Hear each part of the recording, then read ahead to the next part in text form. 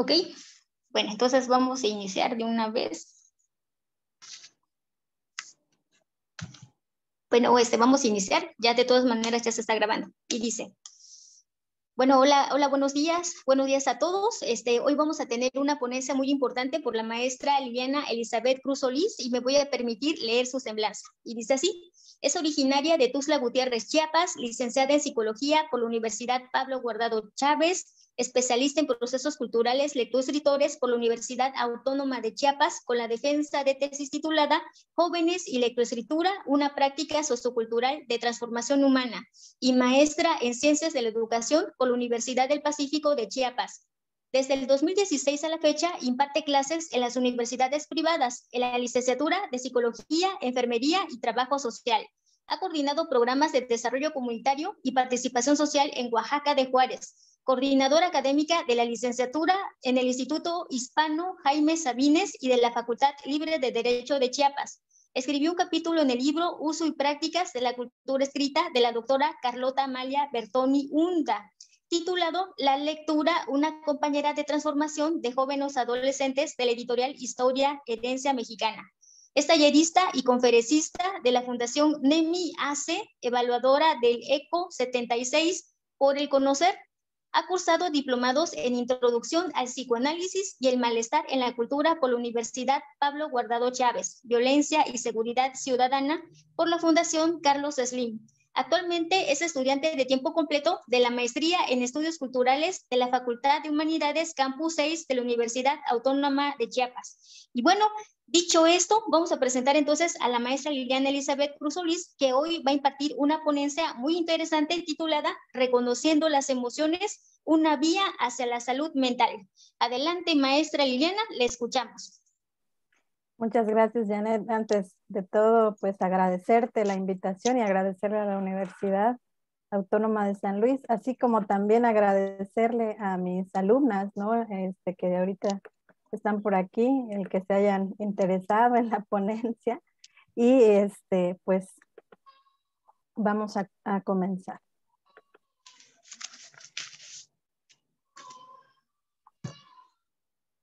Bueno, como ya indicaba Janet, el tema es reconociendo mis emociones, una vía hacia la salud mental y evidentemente pues en este, el objetivo de, de esta ponencia es proporcionar herramientas teóricas y prácticas para el reconocimiento y aceptación de las emociones como una vía de prevención para la salud mental, ¿no?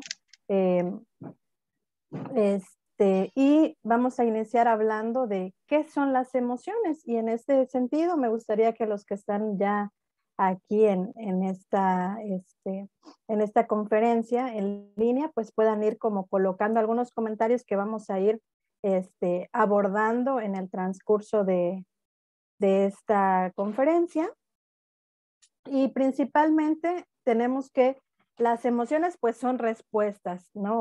organísmicas en la cual intervienen tres componentes importantes. Uno de ellos es el neurofisiológico, que es evidentemente completamente involuntario. Y ese se puede presentar a través de temblor, sudoración y se manifiesta por secreciones hormonales, ¿no? En este caso, cuando, por ejemplo, hay este miedo, eh, las glándulas suprarrenales eh, este, liberan este, hormonas, por ejemplo, la adrenalina o la noradrenalina, y inicia como esta fase, ¿no? Eh, de temblor o sudoración. Eh, la siguiente es de forma conductual, que esta puede ser voluntaria o involuntaria y se puede presentar en distintas formas, por ejemplo, el llanto, la risa exacerbada, ¿no? Eh, el cambio de tono de voz etcétera, por mencionar pues algunos. De manera cognitiva, que esta eh, puede ser también consciente o inconsciente, y esto va a ser como una valoración subjetiva del acontecimiento, ¿no? Por ejemplo, un temblor, un sismo, nos genera miedo porque es algo que ya aprendimos, o bien podemos estar de manera controlada, salir a, las zonas este, donde debemos, donde estamos protegidos, ¿no? Sin embargo, vemos que otras personas pues se desbordan, no salen corriendo. ¿Por qué? Porque justamente son respuestas conscientes o inconscientes que se han aprendido. Entonces, estos son los tres componentes que intervienen en una emoción. Pero las emociones tienen una funcionalidad, ¿no? Las funciones eh, de estas emociones son eh, que nos ayudan a adaptarnos al medio. Estas emociones nos van a ayudar a facilitarnos al medio y también son motivacionales porque potencian y dirigen la conducta, ¿no? Y a veces también son inhibitorias. ¿Por qué? Les voy a poner dos ejemplos. En el ejemplo del sismo. Mm, en ocasiones sirven como motivantes porque nos motivan a salir emergentemente, ¿no? Pero en otras ocasiones eh, también nos paralizan, ¿no? Entonces nos sirven también de motivación y son eh, comunicativas. Y aquí se dividen en dos ramas que son intrapersonales e interpersonales. Cuando hablamos de intrapersonales, estas emociones nos van a ayudar a obtener información de nosotros mismos. Y por eso es la importancia del reconocimiento y la aceptación de las emociones, ¿no? Cuando hablamos eh, de interpersonales, nos ayudan a comunicarnos verbal o no verbalmente eh, con el otro, con los otros, ¿no? Por ejemplo, si yo me llego, si yo llego triste a un evento, si yo estuviera triste ahorita llorando, muy probablemente ustedes se preguntarían qué pasa, ¿no? Este, ¿Por qué está así? Y eso te ayuda de alguna manera a empatizar o no con las otras personas. Entonces las emociones también nos ayudan a empatizar con el otro. Eh, ahorita vamos a ver un video que se llama El monstruo del miedo, bueno, el monstruo de los colores, eh, que es parte también de, eh,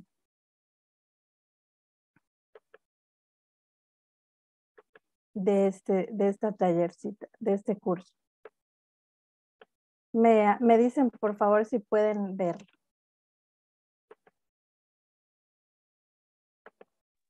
Sí, sí se ve. Monstruo de colores. Ana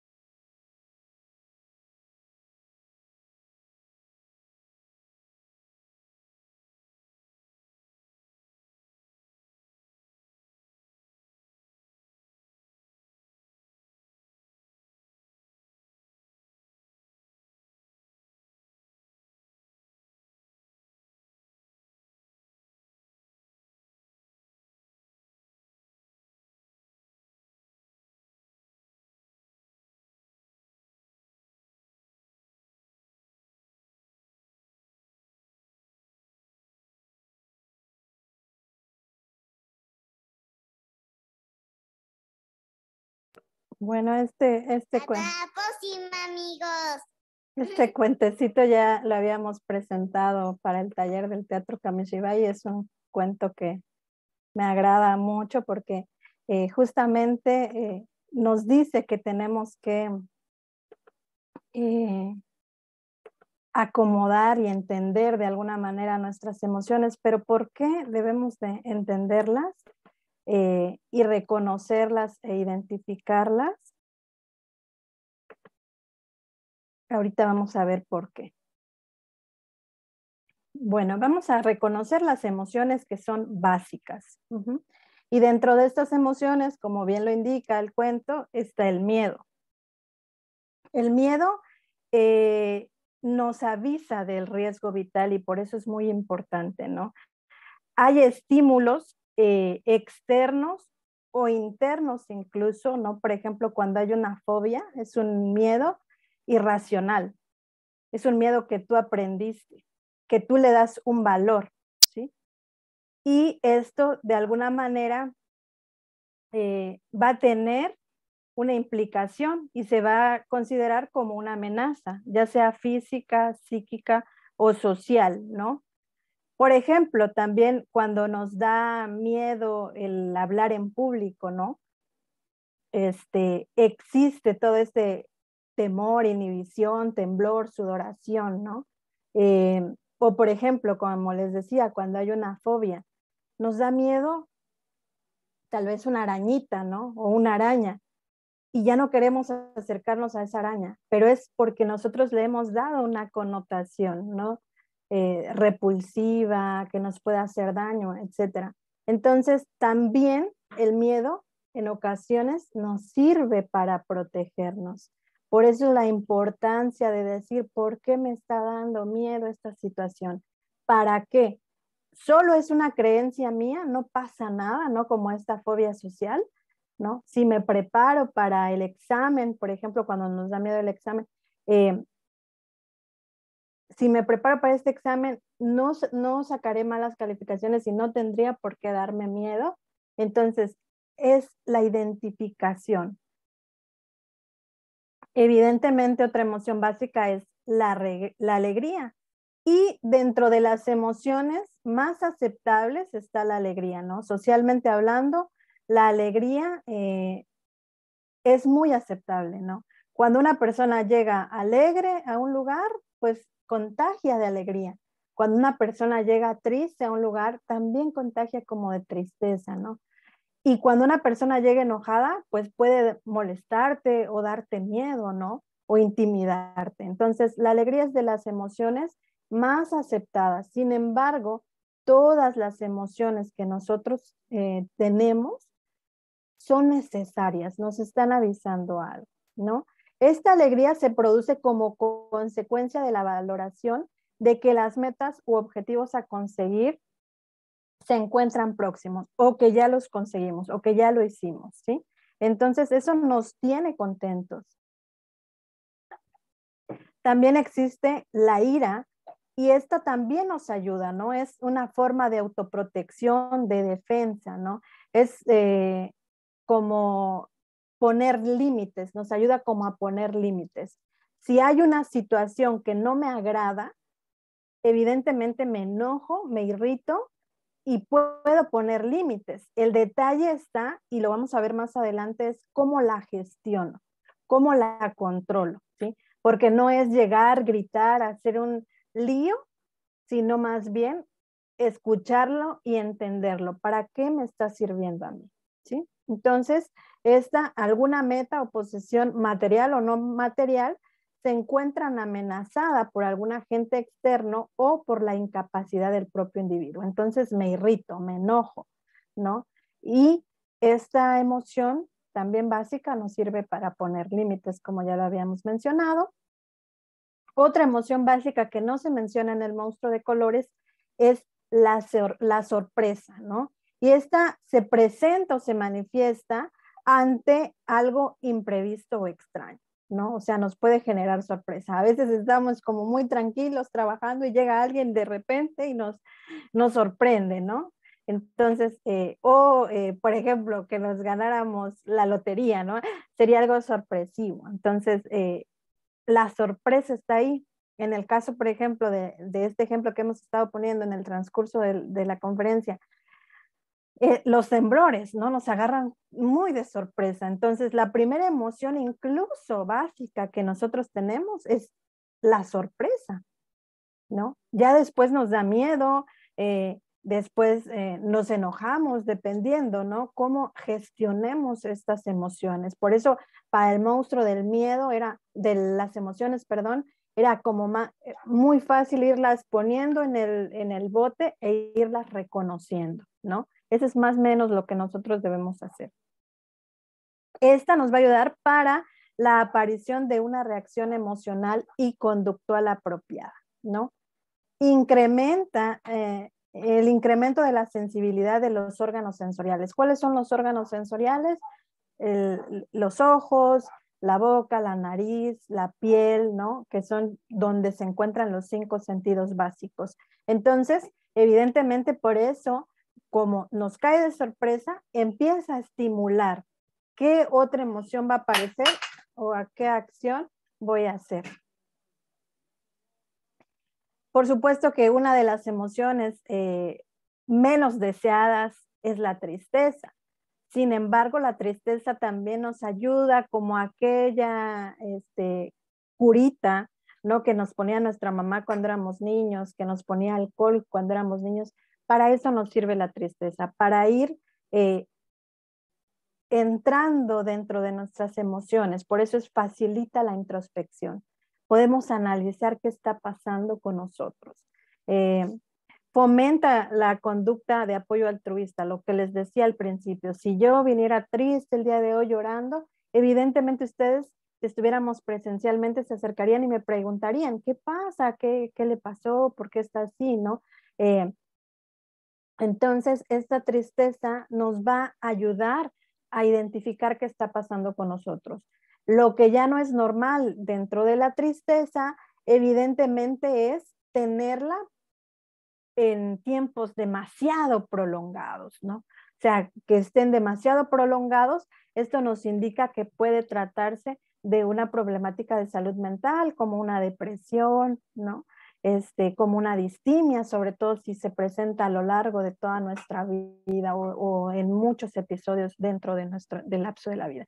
Entonces, lo normal es estar triste de repente, no querer levantarte de repente y es necesario el reconocimiento de estas emociones, ¿no?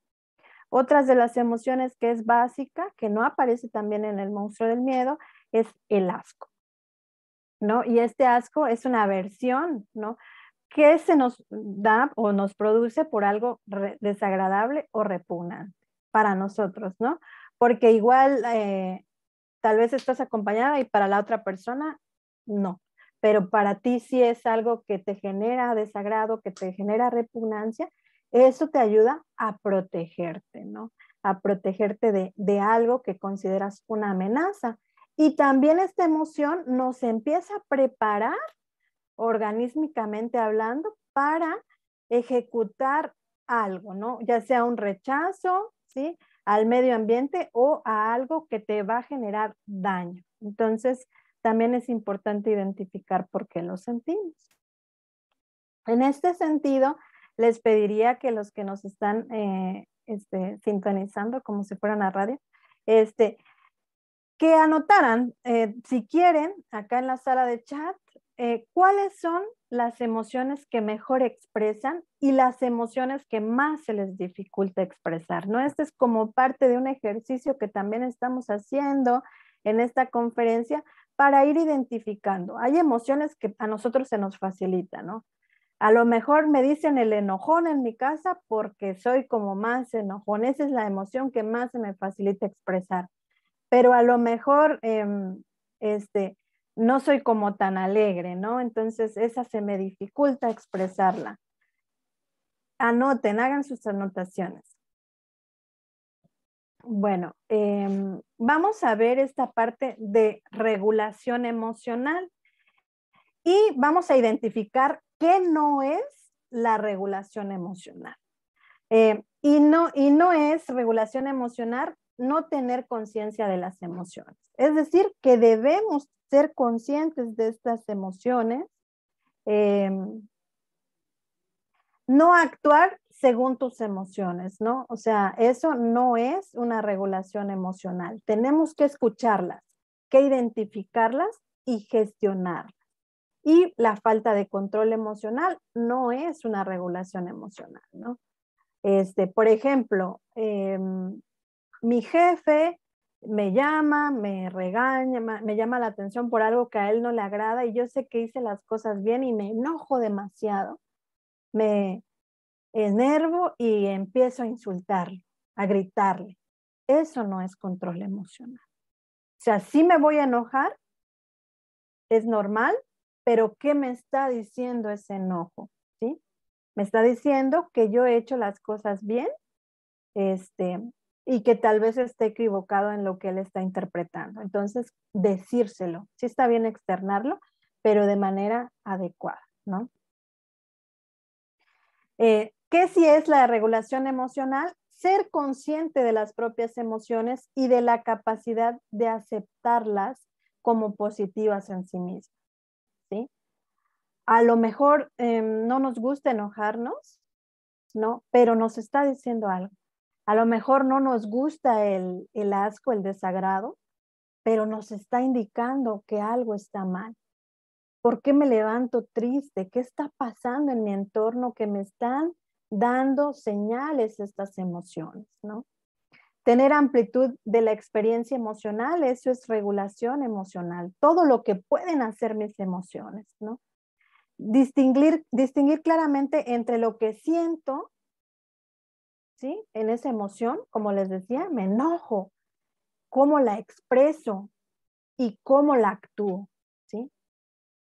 Me enojo demasiado, pero no está bien tampoco gritar e insultar al otro, ¿no? O me siento muy triste, demasiado triste y solo estoy llorando y llorando. Ok, ¿cómo regulo esa emoción? ¿Cómo la expreso? Y cómo la manifiesto. Por eso es cómo la actúo. La regulación, em, la regulación emocional implica estar receptivo a las emociones, es decir, que tenemos que escucharlas, que estar constantemente identificando nuestras emociones porque viven con nosotros y están para ayudarnos. También saber cómo las voy a gestionar de manera eficaz, ¿sí? Tanto las emociones que son mías, mis emociones, como las de los demás, ¿no? Sean agradables o desagradables. A lo mejor viene alguien muy enojado a decirme algo que no me agrada y cómo yo tengo que ser receptivo a esas emociones, ¿no? Manteniendo la calma. A lo mejor voy, me choco con otro vehículo o el otro vehículo, no sé, frena de golpe, yo me choco, el conductor baja muy agresivamente y si yo salgo agresivamente, pues muy probablemente haya un conflicto, ¿no? Entonces, ¿cómo yo también puedo tranquilizarme, le decirle, vamos a marcarle al seguro, si hay aseguradora, o decirle, ¿saben qué? Podemos hacer un trato donde ninguno de los dos haga perdiendo, pero no llegar como a, a caer en estos actos de también conflictuar. ¿no? Estos actos de conflicto. ¿Cómo podemos reducir la vulnerabilidad emocional? Por supuesto que sí podemos hacer acciones que nos permitan eh, reducir esta vulnerabilidad y son acciones muy fáciles, ¿no? O bueno, tienen cierta complejidad, pero son fáciles, ¿no? Eh, durmiendo bien, ¿no? Lo recomendado es dormir de, de 6 a 8 horas, ¿no? porque el cuerpo, el cerebro también necesita descanso porque necesita reorganizar ciertas cuestiones internas. Entonces, el dormir bien, realizar ejercicios físicos, ¿sí? No les digo, vayan ya al gym, métanse al gym, no, pero a lo mejor salir a caminar media hora, ¿no? Este, tal vez si tengo que ir a comprar algo cerca, ir caminando en lugar de utilizar vehículo, pero sí realizar ejercicio, lo recomendado es media hora diaria, ¿no? Si, por ejemplo, tengo sesiones en línea, pararme cada hora de 10 minutos, más o menos, ¿no? Seguir una dieta saludable, por supuesto, baja en grasas, eh, en azúcares, ¿no? Comer alimentos saludables. Y por supuesto, controlar ingesta de sustancias contraproducentes como drogas, fármacos, bueno, drogas ilegales, fármacos sin prescripción médica, ¿no? Y realizar actividades que fomenten nuestra sensación de autoeficacia, ¿no? Que nos hagan sentir bien, que nos hagan sentir contentos, que nos demos cuenta que nosotros podemos hacer las cosas. Entonces, eso es importante, que ustedes eh, realicen actividades en las que se sientan bien. Y acá hay otra pregunta interesante. ¿Cómo puedo aplicar esto a mi vida personal? ¿No? ¿Qué tengo que hacer yo para que eh, poder aplicarlo en mi vida personal? Y aquí me gustaría este, que los que están ahorita conectados nos puedan decir que cómo pueden aplicar estos, este, lo que hemos aprendido hoy hasta este momento en su vida personal, ¿no? En relación evidentemente, pues a las emociones, al reconocimiento de las emociones y cómo regular estas emociones. Aquí me gustaría que participaran un poquito. Por acá tenemos también algunos mensajes, ¿sí? Ah, híjole, me decían que no se escuchaba. Que no se escuchaba, me imagino, el, el cuentecito del monstruo de colores. Por aquí Cecia nos dice que la que mejor expresa es la seriedad, propiamente no es una emoción, pero pues me imagino que Mm, la que expresas, eh, que más se te dificulta, en efecto, dice, es la alegría, ¿no? Por eso ella está constantemente eh, más seria, ¿no? Porque se le dificulta expresar la alegría. Las emociones que mejor expreso es la alegría, el enojo de vez en cuando, dice por aquí Joana. Bueno, eh, es importante el reconocimiento de nuestras emociones. Ahorita vamos a ver por qué.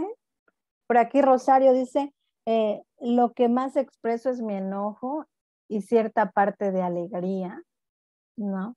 Aquí yo les preguntaría, ¿por qué creen que, que expresan mejor estas emociones?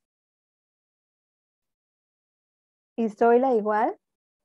Dice, lo que más expreso es enojo y la alegría en cierta parte, ¿no? Acá habría que hacer tal vez algunos ejercicios para em, identificar por qué se nos está dificultando la expresión de estas emociones, porque están ahí, ¿no? Y bueno, también tendrían que ver de cierta manera con nuestra personalidad, ¿no? con cómo es nuestra personalidad. Y este, sí me gustaría que escribieran cómo puedo aplicar lo que aprendí hoy en mi vida personal. Y por acá, pues como ustedes se pueden dar cuenta, dimos algunos tips.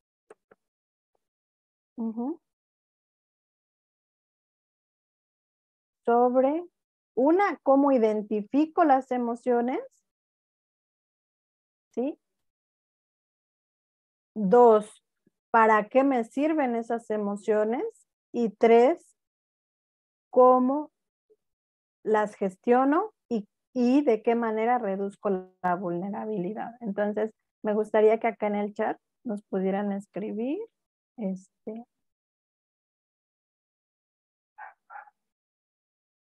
por ahí. ¿Cómo lo pueden cómo pueden aplicar lo aprendido en nuestra vida personal? No sé, este, Janet, ¿va a haber este, un apartado de, preguntas y respuestas también? así es, al final preguntas y respuestas. Gracias. Gracias. Bueno, este.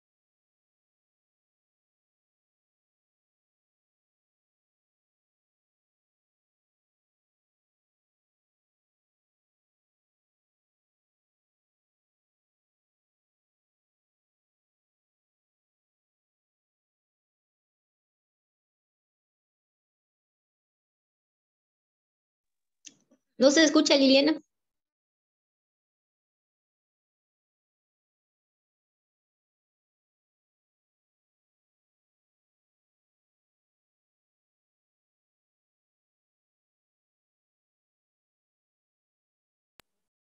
Se silenció.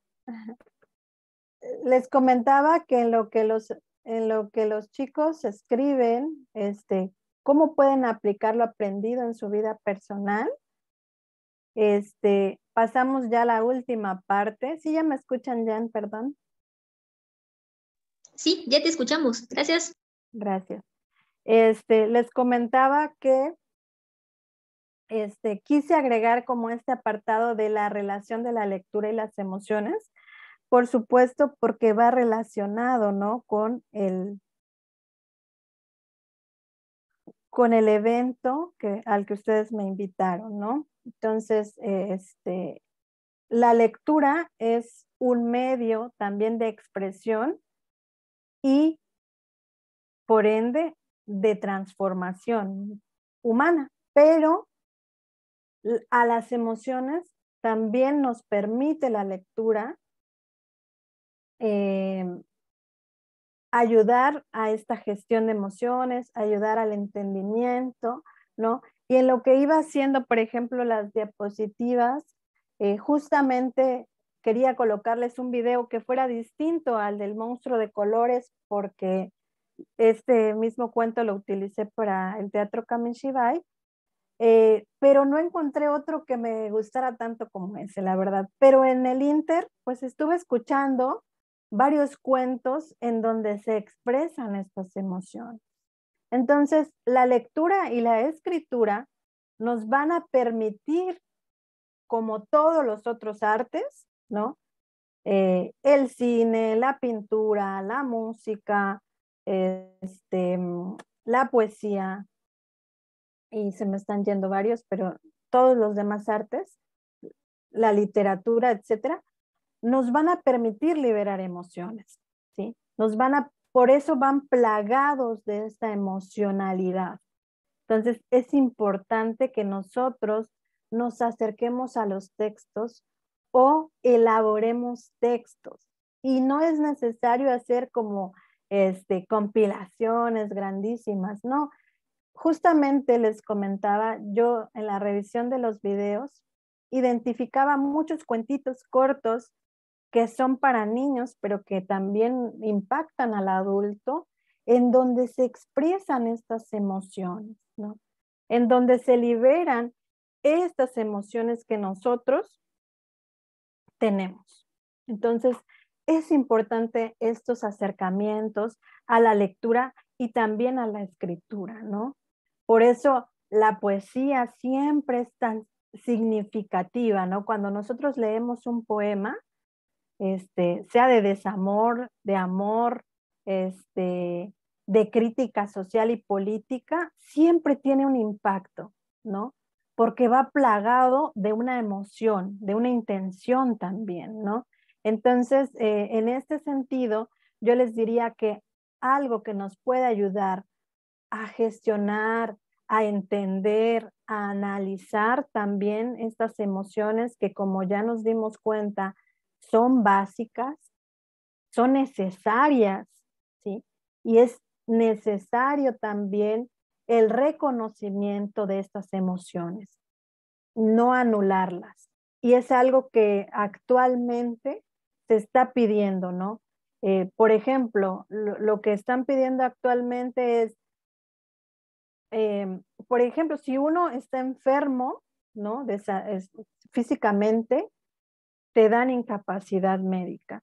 Pero, por ejemplo, cuando uno tiene ansiedad generalizada o ansiedad o depresión, no te dan, no te dan permiso tanto en las escuelas como en eh, este, tu trabajo. Entonces es el llamado a reconocer nuestras emociones, a entender nuestras emociones, saber que están indicándonos algo, nos están diciendo algo y eso que nos están diciendo nos permite adentrarnos en nosotros mismos, saber qué queremos. Pero no nos podemos quedar nada más con qué queremos, qué necesitamos, para qué, sino también en la relación con el otro, ¿no? ¿Y quiénes son los otros? Mis compañeros de trabajo, mis jefes, mis hijos, mi familia, ¿sí? Entonces, mis amigos, mi pareja. Entonces, es necesario este reconocimiento de las emociones y por supuesto, no priorizar solo ciertas emociones, ¿no? Como es que yo quiero estar alegre todo el tiempo y no, al contrario, de repente me siento como muy cabizbaja, este, me siento irritada, me siento angustiada. Puede ser parte también de tu personalidad, ¿sí? Parte de lo que está sucediendo con tu contexto. Entonces, hay emociones básicas y estas emociones nos indican algo y no prioricemos. Eh, prefiero estar así, ¿no? Y por ejemplo, la gente que es eh, más enojona, pues prefiero estar siempre enojada porque así la gente este, me respeta más, eh, ¿no? Este, no, no es abusiva, ajá, pero también estás dejando a un lado las otras emociones que también nos están diciendo algo. Y bueno, para ir concluyendo, em, ¿por qué es importante la relación entre la lectura y las emociones? Eh, pues según Rafael Guerrero dice que la lectura nos aporta valores, ¿no? Y estos valores nos permiten entendernos socialmente hablando. Ayudan al desarrollo, por supuesto, de las emociones, porque estoy entendiendo qué pasa, qué pasa con mis emociones. Eh, que todas las demás personas también tienen emociones y se integran eh, en estos espacios en común. Nos ayudan a estar más tranquilo, ¿no? La lectura siempre nos ayuda a estar más tranquilo, eh, sosegado, tranquilo y mejora la autorregulación emocional, ¿no? Nos hace sentirnos más tranquilos y esto nos ayuda también a identificar de mejor forma las emociones y a gestionarlas mejor. Eh, por otro lado, Marga Santa María dice que ayuda al fortalecimiento de las conexiones cerebrales, la lectura, ¿sí? Entonces, si ayuda a este fortalecimiento, nosotros vamos a poder gestionar mejor nuestras emociones. Desarrollar competencias emocionales tan necesarias como la empatía y la resiliencia, ¿no? Nos damos cuenta en estas lecturas que podemos ser empáticos con el otro, que el otro también tiene problemas, que el otro también tiene emociones, que tal vez no sabe cómo expresarlas, cómo canalizarlas y podemos empatizar con este otro, ¿no? Por ejemplo, eh, el cuento de los tres cerditos y el lobo, ¿no? Que es de los, de los clásicos.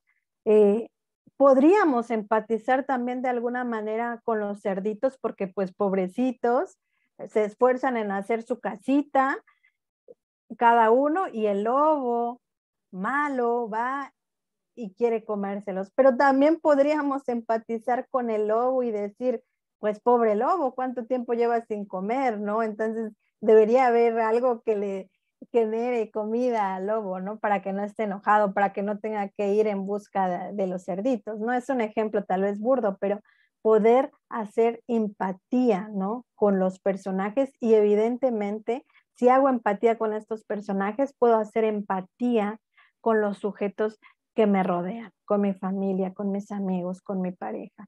Y por supuesto que fortalece la resiliencia, ¿no? Que es esta capacidad de ímpetu, de seguir intentando, de no dejarnos caer, porque identificamos a través de las lecturas que sí se puede hacer, que a veces cuesta mucho hacerlo, pero que sí se puede, ¿no?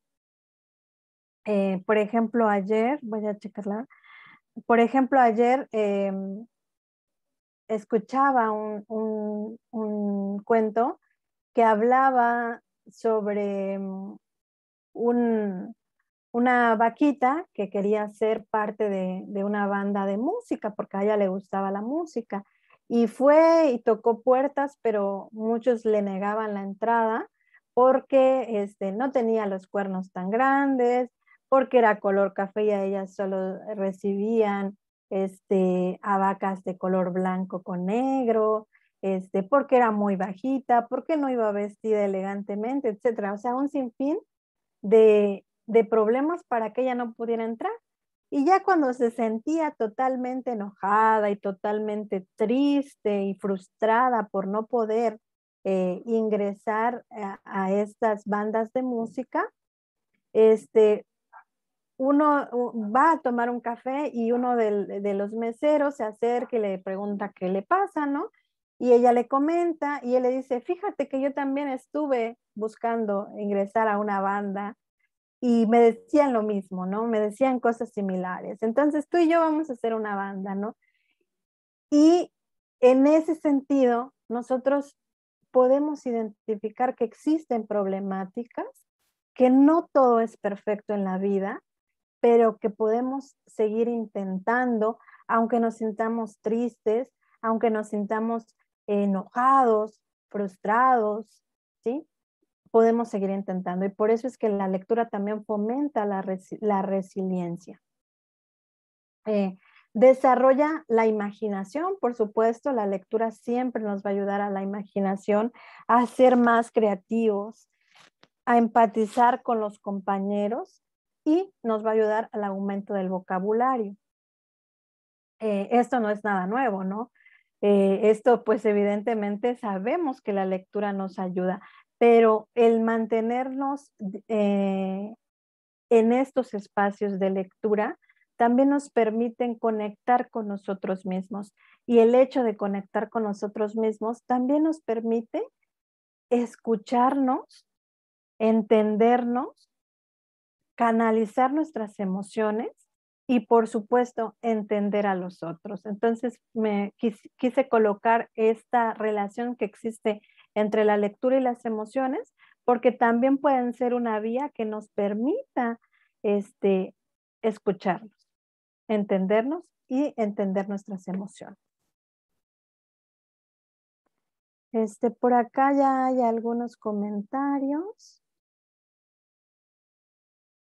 Este, Joana dice, eh, ¿cómo puedo aplicar lo aprendido? Haciendo una introspectiva para analizar mi forma de ser y de pensar, lo cual me permitirá conocer mis fallas y por ende ser una mejor persona. Muchas gracias por compartirlo. Rosario, el poder expresar mejor mis sentimientos y también el poder controlarlos sería salir a caminar, distraer mi mente para poder estar mejor conmigo misma. Claro, aquí ya encontraste una forma, ¿no? De canalizar esa emoción cuando salgo a correr me siento muy feliz, entonces eh, no dejar ese hábito, no ese buen hábito. Cecia nos dice analizar eh, que mi forma de ser para que yo pueda mejorar en ese ámbito de mi vida. Y esto, esto que dicen analizar mi forma de ser se llama introspección, analizarme, entenderme, porque a partir de que yo conozco que existen emociones básicas que me están indicando algo, las escucho. Y cuando las escucho, puedo identificar cuáles son mis áreas de mejora. Y pues por mi parte, Jan, pues evidentemente esto nos ayuda también a tener una mejor salud mental, porque también le estamos apostando a la prevención, ¿sí? Por ejemplo, sé que la tristeza es una emoción básica, pero ya la he tenido demasiado tiempo. Ha sido muy prolongado el tiempo que he estado triste entonces ya no es algo normal. Entonces puedo ir al médico y saber si tengo algún tipo de depresión o qué está pasando conmigo. Entonces, también para eso nos sirven las emociones, ¿sí? Para regularlos, pero también para identificar que algo no está bien en nuestro ambiente, en nuestro alrededor. Y por supuesto que el ambiente juega un papel crucial. Eso sí quería como remarcarlo, que no es nada más culpa de los sujetos o de las personas, también es parte de lo que está pasando fuera, ¿no? Hay una crisis económica fuerte, pues evidentemente vamos a estar irritados, vamos a estar tristes, ¿no? Me acabo de quedar sin trabajo, es algo normal el sentirse triste, el sentirse enojado, el sentirse irritado. Entonces, lo que esté pasando fuera también de mi entorno va a indicar qué emociones estoy sintiendo y por eso es necesario reconocerlas para que mediante el reconocimiento pueda trabajar en, eh, de manera asertiva, ¿no? En estos espacios externos a mí. Y pues por mi parte, Jan, es todo. No, eh, no sé si pasamos como al apartado de preguntas y respuestas. Así es. Bueno, pues este, muchas gracias Liliana por por esta interesante ponencia, porque definitivamente lo es, dado que nosotros tenemos este, este problema de, de, la pandemia, que realmente pues nos ha pegado mucho esta situación. Y pues bueno, aquí había pues como una, una pregunta y bueno, resulta que con los alumnos de la Facultad de Ciencias de la Información se giró un estudio, se hizo realmente como que una investigación con un cuestionario y allí aparecía que los tópicos de los cuales se están padeciendo actualmente los alumnos es ansiedad y es depresión esto pues a raíz de esta pandemia, a raíz de toda esta problemática de salud y pues internacional, ¿no? Que nos ha pegado a todos el COVID. Y bueno, aquí la pregunta sería, ¿qué se puede hacer entonces como para reducir los índices de ansiedad y depresión en los alumnos? ¿Cómo ellos podrían reducir estas dos cosas? Gracias, Jan. Es, e, e incluso es digno de una tesis, ¿no? Es una pregunta muy compleja, es una pregunta muy amplia. Eh, sin embargo, creo que podemos hacer, que están haciendo también ustedes ya medidas este, preventivas, ¿no? El hecho de que estemos dando ciertas aportaciones desde ciertos enfoques es, importante y es interesante para que los alumnos sean conscientes de eh, eh, estas problemáticas. Em, por supuesto que lo que nos ayudaba en la normalidad era el hecho de poder salir y convivir ya con, las personas, porque el hecho de, convivir con alguien, o sea, eh, somos al final de cuentas también seres sociales y el hecho de poder convivir con alguien, de poder eh, compartir un cafecito, compartir una charla, aunque sea de pasillo, eso ya te permitía externar lo que tú sentías, ¿no? O de alguna forma escuchar que también el otro tiene ciertas problemáticas y bueno, ayudarnos también mutuamente a lo mejor, ¿no? Entonces, lo importante también es regresar como a estos, poco a poco, como a estos espacios también em, de presencialidad, de normalidad, con las medidas evidentemente, eh, pero sí sería como importante irlo pensando. No sé si ustedes ya regresaron este, a la presencialidad, pero si no, sería importante. Sería importante eh, como hacer espacios de escucha de ellos y pues evidentemente una de las herramientas, este, Janet, que es eh, interesante tanto en terapia como en, en espacios, es la escucha. Y algo que nos permite escuchar al otro es leer la lectoescritura, ¿no? Y en este sentido es, por ejemplo, que ellos puedan escribir sus sentires a través, no sé, de unas cartas, a través de algún cuento corto y que los demás lo lean, ¿no? Eso también permite la liberación de ciertas emociones, ¿no? El entendimiento de que el otro también está viviendo eh, algún problema similar y cuáles son sus formas de afrontamiento y de resolución. Eso es, pues, por un lado, ¿no? Por otro lado, pues, evidentemente, no sé, hacer como acciones en, desde tal vez los departamentos de psicopedagogía eh, o de pedagogía en el que hagan tal vez alguna especie de talleres, eh, en donde se les enseñe de alguna forma este, a canalizar estas emociones o estos sentimientos, pero también a identificar problemáticas más serias, ¿no? Es decir, si ya es un trastorno de ansiedad o puede ser que le está generando ansiedad este regreso presencial, ¿no? Porque pues evidentemente no sé si me voy a enfermar, eh, ya no puedo convivir como antes. ¿Cuáles son estos factores externos que nos están dando lucecitas rojas este, para sentirnos ansiosos o sentirnos deprimidos o si son tristezas nada más o si son problemáticas de salud un poco más fuertes, ¿no? Pero lo que sí tengo que resaltar y enmarcar, Jan, es que pues están ya haciendo contribuciones importantes este, a partir como de estos acercamientos, de estos foros, de estas este, conferencias en la que muchos profesionales también les pueden dar herramientas, también les pueden dar tips a los estudiantes para ir identificando qué pasa y por qué existe estas manifestaciones. Eh, esa podría ser una respuesta ya o alguna respuesta que puede ser de utilidad. Ok, muchas gracias Liliana. Y bueno, la otra pregunta sería entonces, este, ¿hasta qué punto? Bueno, a veces nosotros no sabemos identificar, por ejemplo, cuando nos está la tristeza, pero ¿hasta qué punto realmente la tristeza podría ser sana y hasta qué punto la tristeza ya no es normal? ¿Cuál sería como ese límite para identificar cuando la tristeza es válida? Porque ya bien comentabas que la tristeza nos une, la tristeza nos hace generar la, el proceso de introspección, pero llega un momento en el que a lo mejor ya no sabemos cuándo la tristeza está bien y cuándo la tristeza ya se excedió, como cuál sería un límite de tiempo o cómo podríamos identificar cuando ya se tiene que acudir con un, eh, un profesional para tratar un problema como de depresión, por ejemplo.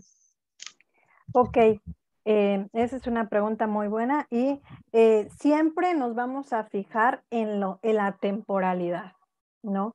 Por ejemplo, si, y esto es importante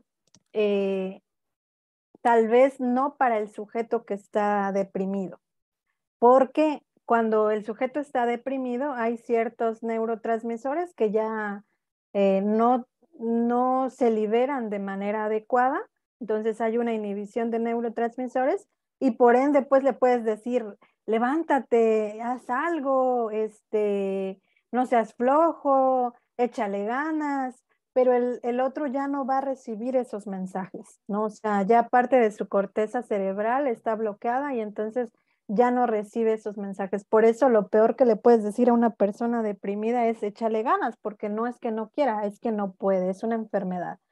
Y nos vamos a ubicar en la temporalidad, es decir, si la persona no se levanta de la cama, ¿sí? ya no tiene ganas de hacer nada o va a trabajar y solo está triste, ya no tiene un rendimiento adecuado en su trabajo, eh, este, ya no tiene un aseo personal como antes lo tenía, ¿no? Esto también van a ser indicadores de depresión, ¿sí? Entonces, si el paciente lleva más de un mes o dos meses así, eh, muy probablemente sí esté pasando por un tipo de depresión, pero dentro de las depresiones también existen tipos.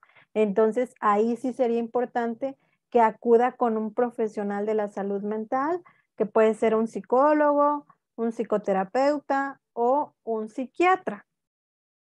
Lo que yo sugiero es que vaya con un psicólogo para identificar, a lo mejor también está pasando por un proceso de duelo y un proceso de duelo se da por una pérdida. Y los expertos dicen que las pérdidas pueden ser desde perder 50 centavos hasta perder a un ser querido como a un hijo o un padre o una madre, ¿no? Entonces, este, habrá que ver si no está pasando también por un proceso de duelo y en estos procesos de duelo, pues sí se siente muy triste, no tiene ánimos de nada, está llorando. Entonces, también puede acudir a terapia o este, que le va a ayudar como a resolver estos conflictos, pero tal vez no sea una depresión. Sin embargo, siempre tenemos que ver la temporalidad rasgos también de cómo se encuentra la persona y por supuesto eh, el arreglo personal siempre va a ser importante, ¿no?